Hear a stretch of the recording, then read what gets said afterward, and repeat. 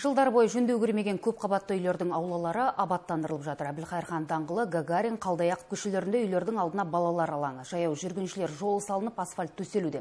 Жарық шамдар мен орындықтар орнатылады. Мердігер компания қазан айының аяғына дейін жөндеу жұмыстарын аяқтаймыз деп сендіреді. Марина Денисенко бұл үйде 24 жылдан бері тұрады. Жұбайы 50 жыл өмір сүрген. Осы уақытта бірде бір рет жөндеу көрмепті. Көктемде көлге айналатын ауламыздың сәні кіріп қалды дейді тұрғындар. Этого у нас постоянно Бұған дейін жаңбыр жауса ауламыз суға толып, кәріз құдықтары үнемі ашық шашық жататын.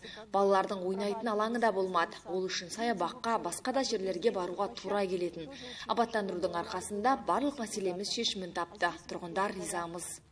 Үйіміз деген біздің 1966 жылы салынған. Содан бері бұның абаттандыру жұмыстары жүргізілмеген. Бүгінгі таңда мінекей қала әкімшілігі мен облыс әкімшілігі республикалық бюджеттен ақшалар келіп мінекей бөлініп. Осы абаттандыру жұмыстары жүріп жатыр.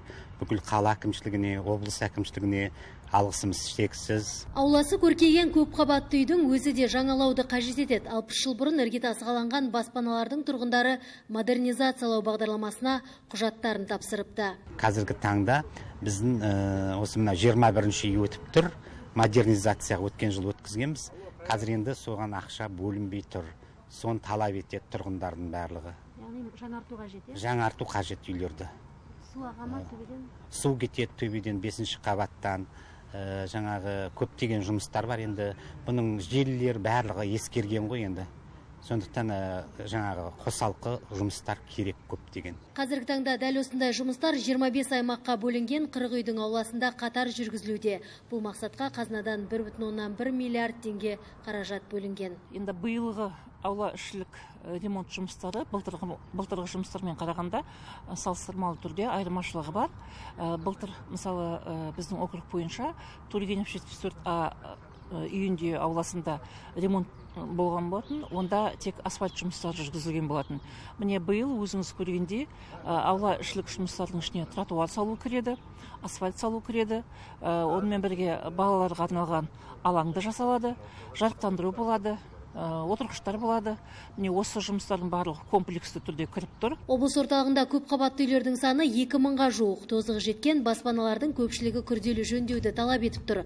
Аулаларды абаттандыру үшін тұрғындардың тарапынан талпыныс қажет ақ Биылға жоспарланған 25 ауланың ішінде Гагарин көшесіндегі 57-59 үйлердің де аулалары бар. Бұл баспаналар 1949 жылы салынған. Міне содан бері 75 жыл өтті. Күрделі жөндеу көрмеген. Қазір мердігер компания аулаға жаяу жүргіншілер жолын төсеп тастаған. Енді асфальттау жұмыстарын жүргізіп жатыр. Мердігер компания аулаларға жаяу жүргіншілер жолын төсеп жиек тастар орнатқан. Жақында жарық шамдар мен тұрғындар демалатын орындықтар, қоқыс тастайтын жәшіктер қойылады. Кейбір аулалар балалар ойын алаңдары жабдықталған. Қазіргі таңда біз бір ай көлемі болған жоқ біздің жұмыс басталғалы жиырма күн болды. жиырма күнде біз жұмыстың алпыс пайызын орындадық.